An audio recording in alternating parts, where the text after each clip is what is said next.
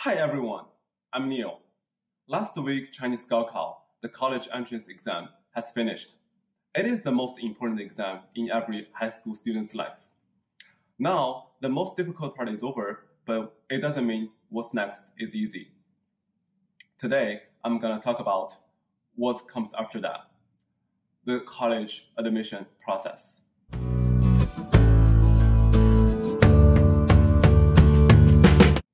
It's like diffusing a bomb for students. There are a number of decisions for them to make, and there are a bunch of uncertainties that they will need to face.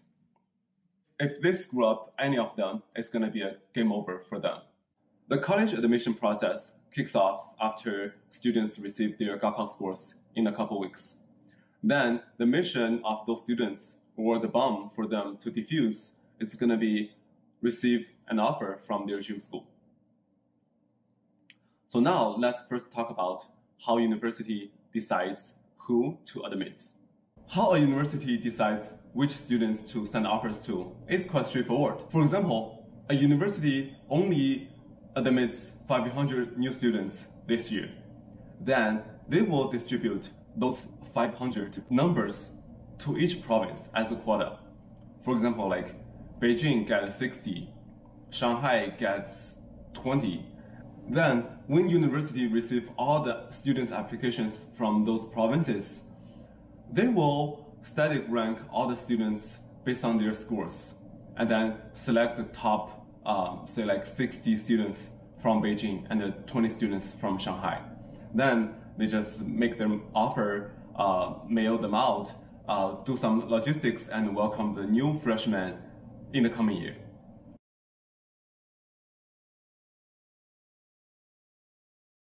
Now, let's take a look at how the application looks like.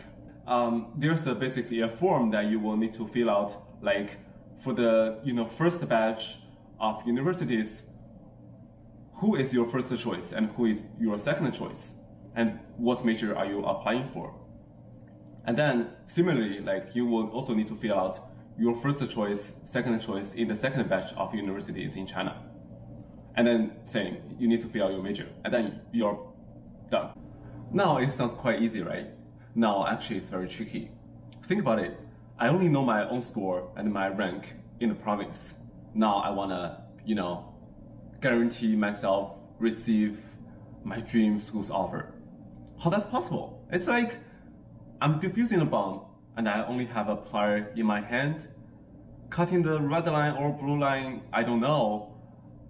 How I can guarantee myself surviving in this bomb diffusing mission, I don't know, right? Luckily, there's some help. We get a booklet that contains all the past five years of lowest admission score for each university. And then we also hear uh, rumors from uh, our teachers, parents, uh, friends about who with what score uh, will gonna apply for which university for what major and then that's about it. We will need to make our best bet based on all of that limited, very preliminary information. It's like when you defuse a bomb, you know for the past five bombs that you defused, the lines you cut, you, you cut is uh, uh, red, blue, blue, red, blue. Now, what's your cut for, for this bomb? So if you choose a wrong line to cut, the bomb will explode. So let's take a look at if you make the wrong bet, what's going to happen in this university admission process.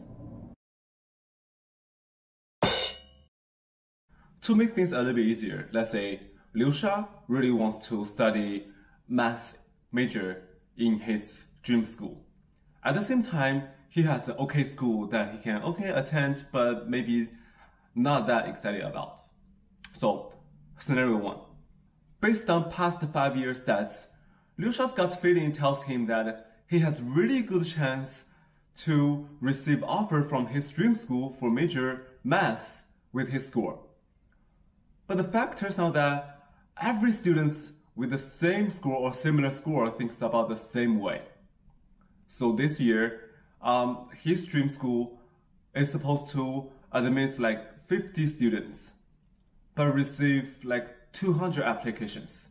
And Liusha is actually the 51st students based on the scores rank. So, bye, have a beautiful time. Still the same scenario. Liu Sha's gut feeling tells him that he has a really good chance to get offered from his dream school with math major. So he lists that school with math major as his first choice and he indicates that he's not okay to reassign to a different major.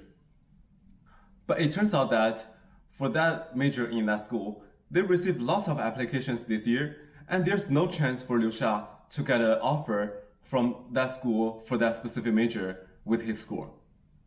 But it could have been possible for Liu to get an offer from his dream school if he were okay to be reassigned to a different major.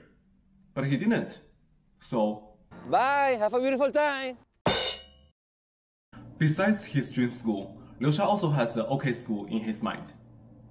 So Liu Sha lists his dream school as the first choice and then his OK school as second choice. Here, a bit more on the admission process. In China, all the universities will take the first round to admit all the first choice students by, let's say, July um, 28th. And then after that date, they will start to consider second choices students only if they have open seats. But it turns out that in the round of first choice admission, Liu Sha missed his dream school because his score isn't, let's say, top 50.